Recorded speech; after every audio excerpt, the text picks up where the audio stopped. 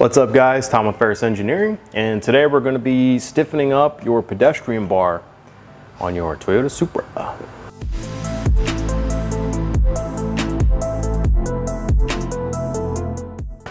right, so basically what we've noticed is there is a little bit of flex in the pedestrian bar, um, which is ultimately where our uh, splitter mounts to uh, with these mounts here. And uh, with the introduction of our high downforce front splitter, we wanna try to eliminate as much flex as possible uh, for you guys, because ultimately that will translate into the splitter flexing uh, under a uh, downforce condition.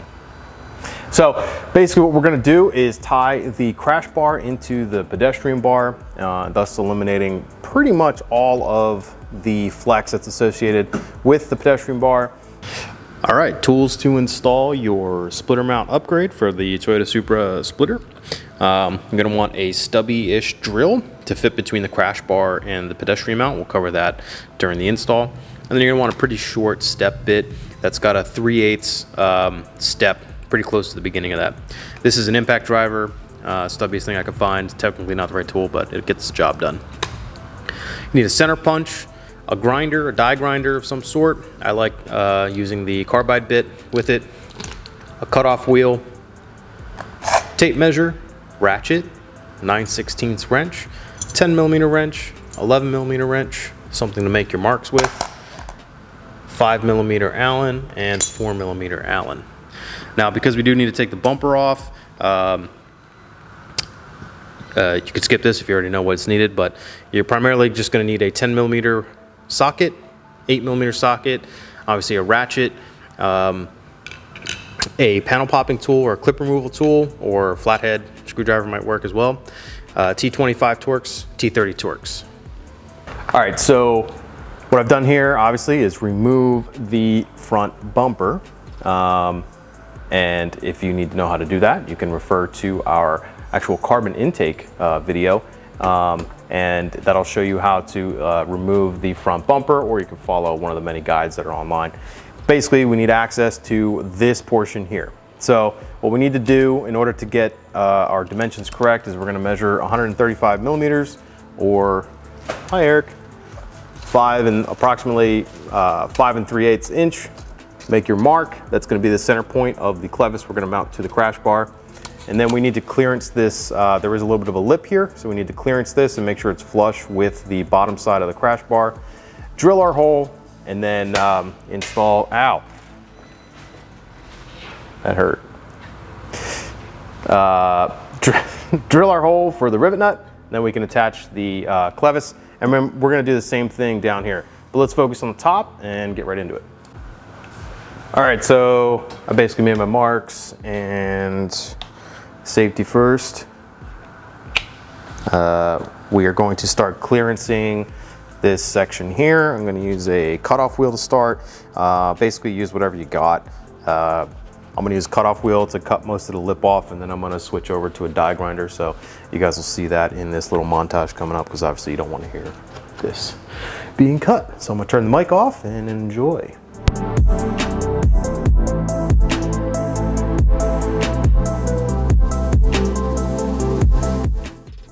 All right, we have our little uh, notch thing right here cut out or clearance for our clevis.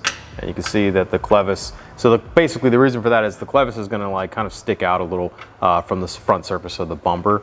Um, and then this will allow you to get the, the uh, rivet nut that we're about to install into the center of the, the meat of the crash bar surface down here. Um, and that basically, uh, if you don't, it's pretty offset, it's offset pretty far back. So um, basically that's why we did that. Uh, what I did mention before is when you get your measurement, I believe it was uh, 135 millimeters, um, you wanna basically uh, measure about a half inch on each side because the uh, basically diameter of the clevis is about an inch. So that's basically the size of the hole or the slot that you need to cut.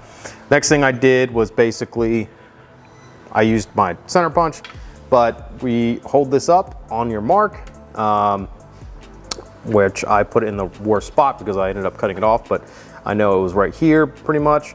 And you wanna just kind of take your center punch and then kind of just scribe a little circle and then you'll have a mark on the bottom of the crash bar to which you can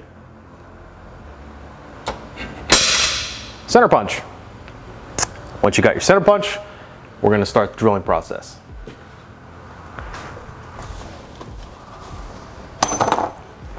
So to drill this, you obviously have a limited amount of room here. Uh, I know this is a uh, impact driver, uh, but um, removing the pedestrian bar just seemed like something I didn't want to do and probably something you guys don't want to do either.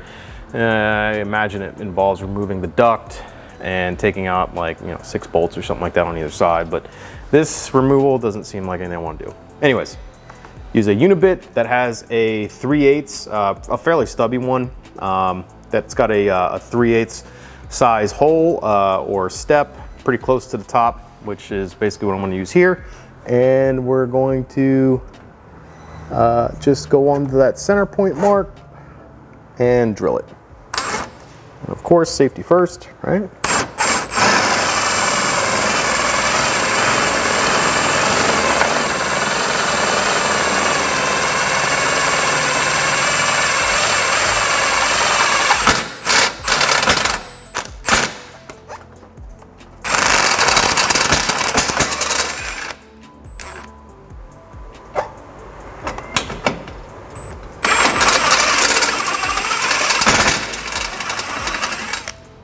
Again, I know this is probably the wrong tool. It's definitely the wrong tool, um, but it's a throwaway step bit. So, all right, holes drilled to 3 eighths of an inch.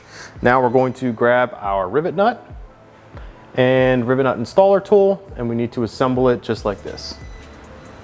All right. Next thing we need is our 9 16 wrench and ratchet or Allen key. Probably uh, ratchet's better, but a uh, 5 millimeter Allen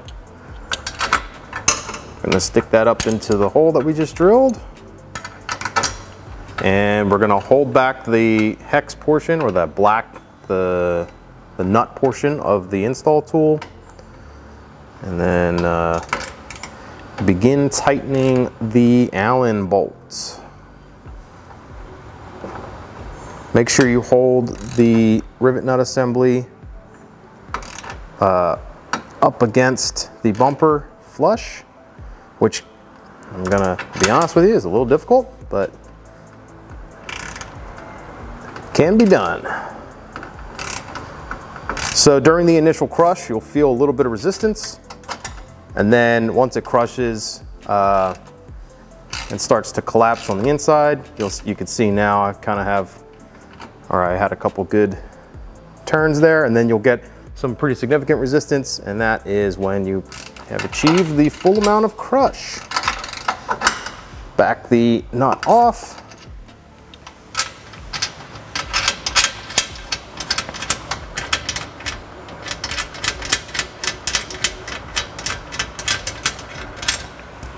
Boom, got a fully installed rivet nut. So now we're gonna put the clevis on here and then we're gonna move to drilling the lower section and I'll show you that in just a second. All right, grab your ruler, uh, tape measure, uh, your marker and your center punch and this edge of, or the, just the edge of the pedestrian bar, we're gonna take our tape measure. Um, using metric here because that's what gave us the, gave me the nice round number and it's also all I have. You can do the conversion if you want uh, online. Google has a great resource for that. Anyways, latch the tape measure on the end and uh, because this is radius, it's kind of weird, but basically just um, uh, run it straight across, kind of like the back edge. You'll see a little gap here, but no big deal. Uh, you wanna make a mark at 400 millimeters. And one thing you'll notice is that there is a flat portion and then it kind of bevels down uh, or angles down a little bit. We're gonna be mounting the rivet nut on the flat portion, the top uh, surface. And you wanna basically just find center, uh, if I'm being honest, because there is a bit of a radius here, I'm just gonna eyeball it. Um, but this section is about a Eh, it's about a half an inch. So if you wanted to, uh, take it in about a quarter inch from the back edge and make your mark. So we've got that center punched. Now we're gonna repeat basically the same process as up top. Use the impact driver. Again, the only reason I'm using it is because it's stubby and it fits in this area. Um, and our unibit. We're gonna drill those, that hole to 3 eighths of an inch and we're gonna install that rivet nut in the same exact way we just did the top. So I'm gonna do all of that and then I'll come back and show you how to set up the uh, splitter ties. All right, rivet nut is installed, uh, holes drilled, rivet nuts installed, all that stuff. So we're gonna take our 25 millimeter sock, low profile socket head cap screws and we're gonna insert them into the top of the clevis this way for both top and bottom mounts. And we're simply just gonna thread them into the rivet nuts. Then we're gonna grab our clevis, um, uh, splitter tie, and you're gonna assemble the rod ends to the tie rod, uh, just like this. Uh, we have a right hand and a left hand thread here, so if it's not going in, you probably have the wrong one. Uh, I'm assuming this is going to be a typical installation for most cars, so run the rod ends all the way in uh, because this is going to be fairly tight. Line up the splitter tie inside of the clevises so you have the correct angle on your clevises. Then you're going to want to remove the tie and tighten the clevises where they are. Uh, I'm using an Allen key here. You can use a socket if you want, but this seemed like the most convenient to grab.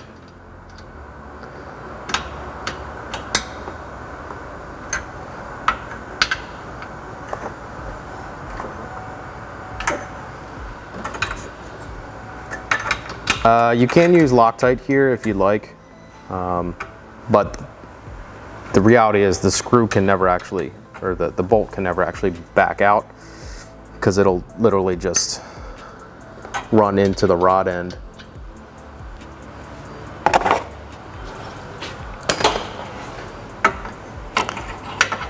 Okay, so bang, that's all lined up. Now we just need our hardware, uh, 25 millimeter button head cap screws, 12 millimeter watt M6 washers, and the serrated M6 flange nuts uh, that go onto the backside. I'm gonna grab that real quick and be right back. All right, hardware acquired, 25 millimeter button head cap screws. You can see the, hopefully you can see the 25 millimeter or 12 millimeter washer on there. You want that to be on the bolt head side. And just to keep things looking clean, I'm gonna install the bolt head and the washer on the outside, even though no one's ever going to see this. Um, you may have to pull down on the pedestrian bar just a hair to get the, uh, the bolt to go in there. Put the M6 serrated flange nut on the back side or front, it's up to you, doesn't matter.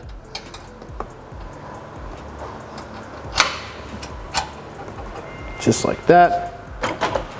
And then you want to torque these, hold back the nut with a 10 millimeter wrench and torque these to six foot pounds.